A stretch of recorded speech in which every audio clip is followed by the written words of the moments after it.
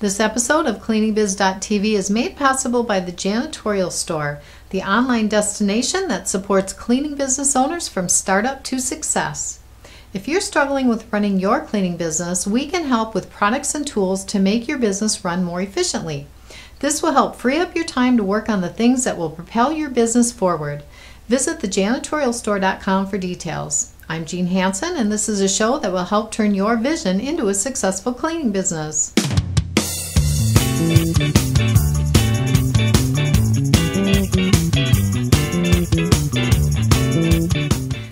Business owners are busy people.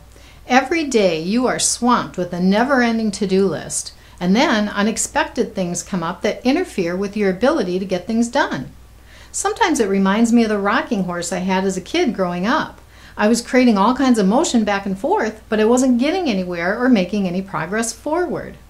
And sometimes it feels like that in business. But here's the thing a lot of the time, you might actually feel like you were very productive because you were busy going from one project to the next all day long. You paid some bills, responded to emails, did some research on a piece of equipment you wanted to buy, talked to a couple clients, cleaned out your email again, made a trip to the bank, and stopped by a couple accounts to check in with employees. You are busy.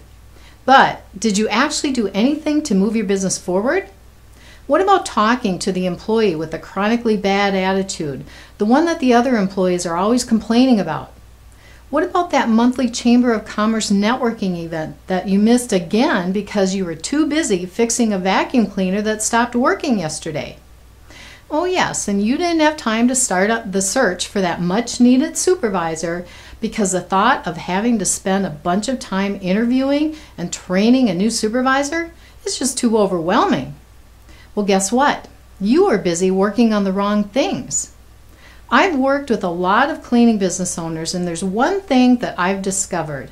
The owners of underperforming companies almost always work as hard and sometimes even harder than the owners of larger, more successful cleaning companies. They seem to think that as long as they work hard and put in long hours, their business will continue to grow.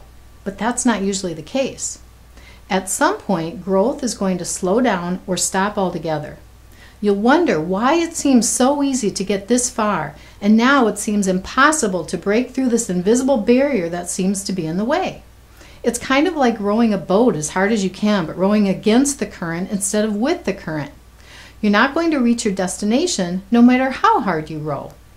So stop filling your day with busy work and tasks that should be handled by your staff and start filling your day with projects that matter. Projects that will increase sales and profits and that will bring you closer to your goals. If it seems like you're crazy busy every moment of the day, but your business isn't moving forward by leaps and bounds, then stop and take a critical look at where you're spending your time. Look at each task you're working on and ask yourself if you're working on the most important things that will move your business forward.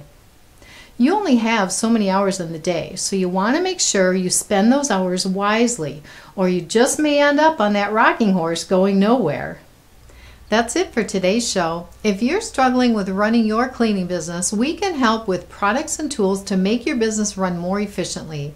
Visit thejanitorialstore.com for details. I'm Jean Hanson, and you can find me on Facebook, LinkedIn, and Twitter. Just look for the links at cleaningbiz.tv. See you next time.